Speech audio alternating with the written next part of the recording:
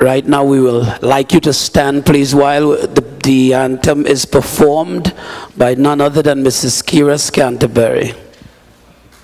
Round of applause, please.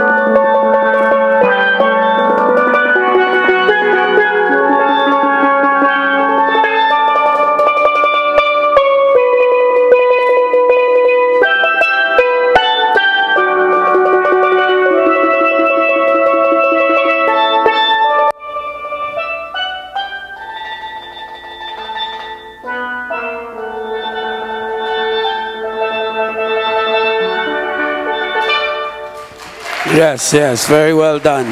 Thank you, Ms. Keria.